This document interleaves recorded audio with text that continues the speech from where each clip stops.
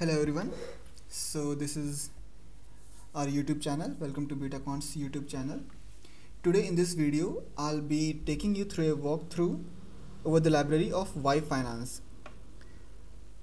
So y finance is a library that is built over yahoo finance api to grab the data. So using y finance you can fetch various data of a particular ticker or let's say a particular stock from yahoo finance so without wasting any much time let's move over to our Jupyter notebook and let me walk you through uh, the entire code. So if you want to like read about documentation this is the documentation page. So pypi.org slash project slash yfinance okay. So here we have the Jupyter notebook and the first process is importing the libraries so if you do not have the libraries installed you can always do pip install. Y finance. So I already have these libraries installed so it will be like giving me a message that requirement is already satisfied. So here it is.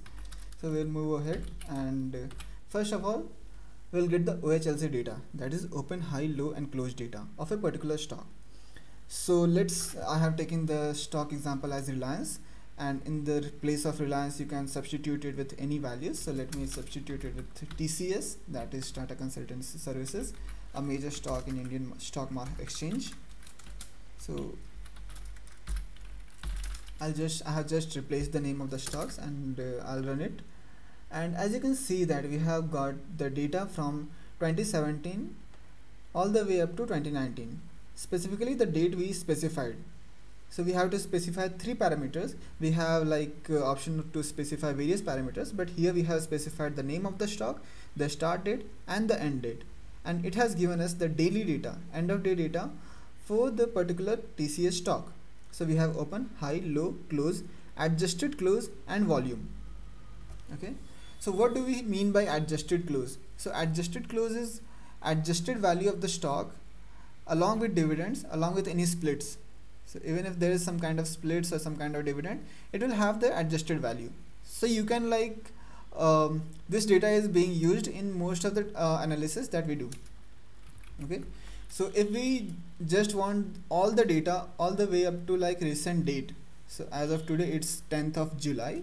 So if we just specify the start date it will uh, it will take the data all the way from starting of the start date that is 1st Jan 2011 all the way up to last working day. So it was 8th of July 2022 the data format will be similar open high low close adjusted close and volume. Okay? Using this ticker suppose we want to download data points for multiple stocks at the same time. So all we have to do we need to do is specify the name of the stocks with spaces okay? So here I have download I have written the name of three stocks that is Reliance TCS and ONGC and I want all the data points all the way from 2011 uh, Jan 1st all the way up to last working day okay? So here we have. The parameters will be the same adjusted close close high low and open okay? So I'll show you. And volume of course and we'll get the data for all the three stocks that we have specified. ONGC Reliance TCS okay? So you can also see the dates uh, date column that started from 3rd Jan 2011 all the way up to like 8 July 2022 okay? So it will grab the working days and it will take the data. Using this library we can also fetch intraday data okay? So for many of the analysis we need more highly granular granular data okay? So we can go up to like uh, parameters of 1 minute 2 minute 5 minute 15 minute 30 minutes 60 minute 90 minutes. And when we go on a daily time frame we need to we need to specify if it is not uh, one day okay? So if it is one day you don't need to specify but if it is like kind of five day one week one month or three months you need to specify what kind of like data uh, granularity do you need okay? So here i am going to uh, download the data for like uh, five minutes and when we are like uh, going on intraday time frame we only have the luxury to download data for last 60 days. And if we want to like go for one minute data for the stocks we only have the luxury to download the data of last seven days okay? So when I say seven days it's only like five working days excluding Saturdays and Sundays okay? So we here we have the data for two stocks reliance and tcs from the start date that is like 7th of uh, july. And till the end date that is kind of 8th of july. So just two days of data for interval of one minute. Okay. So this is all about the OHLC data that is open high low close data that may be like uh, used by analyst to do some technical analysis. Okay. Some kind of like candlestick analysis some kind of technical indicator analysis. Going to the fundamental data that means the company specific data that is kind of like generated in financial reports. Okay so for that one we have to first specify a ticker symbol okay? And from that ticker symbol we'll be getting all the data. So similarly going ahead like along with the flow we have taken reliance as the ticker name and we're specifying it in the variable name reliance okay? So first of all we have specified. So what is there in the reliance? Let's check it out. So it's an ticker object okay that is a y finance object. So going ahead from this reliance we'll be fetching various data. Okay? So first of all it's action reliance dot actions. So what are we going to get here? We are going to get date dividends and splits if it is there. Okay? So from all the way up to 1996 all the way up to like recent uh, 2021 6 that is 11 so it's last year. Okay? So we have got date as well as the dividends. Okay maybe this is in percentage you can verify it on your own. And also we have got the stock splits. Okay what is the factor of the split and what is the date on which it happened?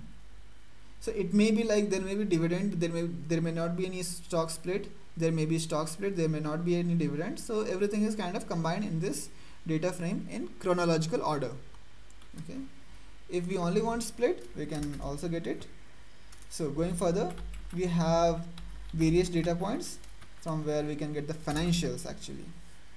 So if we uh, run this cell that is reliance.financials you can see that we have got data for 2018 2019 2020 and 2021 okay? So i have got the data for last four years. You can see the indexes that is research development income before taxes gross profits uh, all total revenue total operating expenses cost of revenue. So these are all kind of like uh, data points that analysts need in their fundamental analysis gauging the performance of a company. What is the kind of like earning the company is having how much is, is it generating a revenue how much is it generating profits how the profit matrices are growing on year on year basis or let's say quarter on quarter basis okay? So uh, I have just showed you this yearly basis okay? So we can also go for quarterly financials so you can see we all also have this quarterly financial. This is also for four quarters. We can't get like uh, before that one. So this is March 2021 and uh, June 2021 and so on. Okay. Going further we all have more kind of like data points in balance sheet. We again have some more similar like uh, thing for balance sheet that is quarterly. Okay going forward we have cash flow we have quarterly cash flow we have earnings we have quarterly earnings. Okay?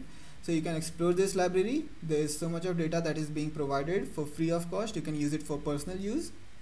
And if you need some more information if you need, want to explore more always there is a link for documentation. And the same notebook is being uploaded on my github profile. And you can like uh, go to the link that will be there in the comment sections uh, or it, it will be pinned up and then you can like explore it out on your own.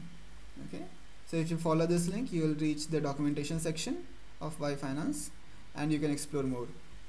So that's it for this video.